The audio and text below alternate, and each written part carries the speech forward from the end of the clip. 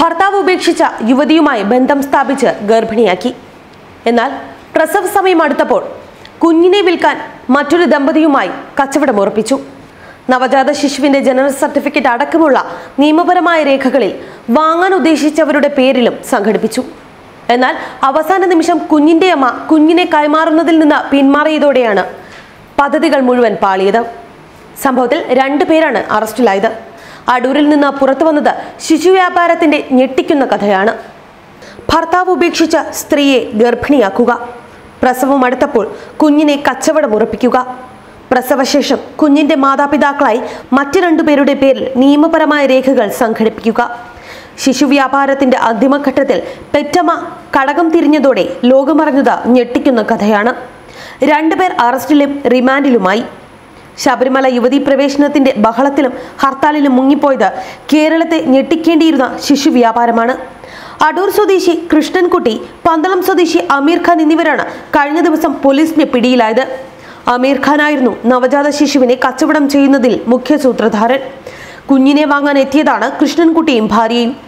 അടൂരിൽ ഭർത്താവ് ഉപേക്ഷിച്ച യുവതിയെയാണ് ആമീർ ഖാൻ ഗർഭിണിയാക്കിയത്.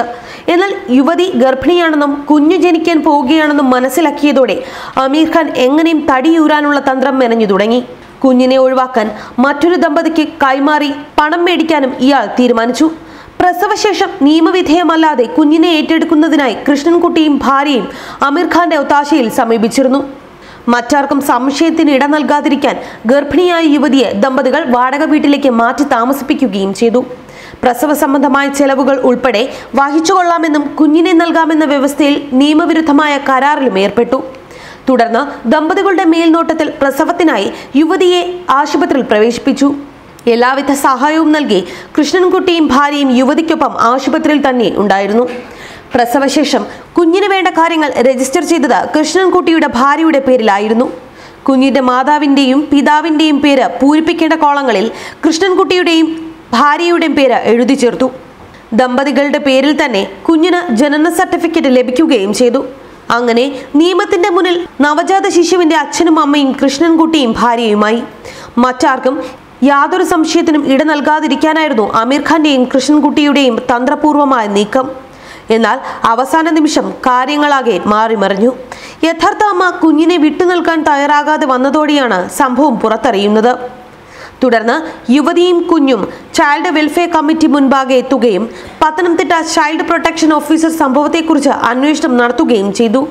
തുടർന്നാണ് നിയമവിരുദ്ധ പ്രവർത്തനങ്ങളിലൂടെ കുഞ്ഞിനെ ദത്തെടുക്കാൻ ശ്രമിച്ച സംഭവം പുറത്തായത്. ഇവർക്കെതിരെ ബാലനീതി നിയമപ്രകാരം കേസ് രജിസ്റ്റർ ചെയ്യുന്നതിനായി പത്തനംതിട്ട ജില്ലാ പോലീസ് മേധാവിക്ക് റിപ്പോർട്ട് നൽകുകയും ചെയ്തിരുന്നു. ഇതിന്റെ അടിസ്ഥാനത്തിൽ അടൂർ പോലീസ് കേസ് രജിസ്റ്റർ ചെയ്തിട്ടുണ്ട്. കൃഷ്ണൻകുട്ടി യുവതിയെ ഗർഭിണിയാക്കുകയും ദത്തെടുക്കാൻ ഒത്താശ ചെയ്യുകയും ചെയ്ത അമീർ ഖാൻ എന്നിവരെ പോലീസ് അറസ്റ്റ് ചെയ്തു. യുവതിയെയും കുഞ്ഞിനെയും ഗവൺമെന്റ് മഹിളാ മന്ദിരത്തിൽ സംരക്ഷിച്ചു വരികയാണ്. കുഞ്ഞുങ്ങളെ ദത്തെടുക്കാൻ ആഗ്രഹിക്കുന്നവർ നിയമവിരുദ്ധമായി ദത്തെടുക്കാൻ ശ്രമിച്ചാൽ അവർക്കെതിരെ കർശന നടപടി സ്വീകരിക്കുമെന്ന് ആരോഗ്യമന്ത്രി കെ കെ ശൈലജ പറഞ്ഞു. അനധികൃതമായി കുഞ്ഞിനെ ദത്തെടുക്കുന്നത് ബാലനീതി നിയമപ്രകാരം മൂന്ന് വർഷം വരെ കഠിന തടവും ഒരു ലക്ഷം രൂപ പിഴയും ലഭിക്കാവുന്ന കുറ്റമാണ്. ന്യൂസ് ഡെസ്ക് മറുനാടൻ ടി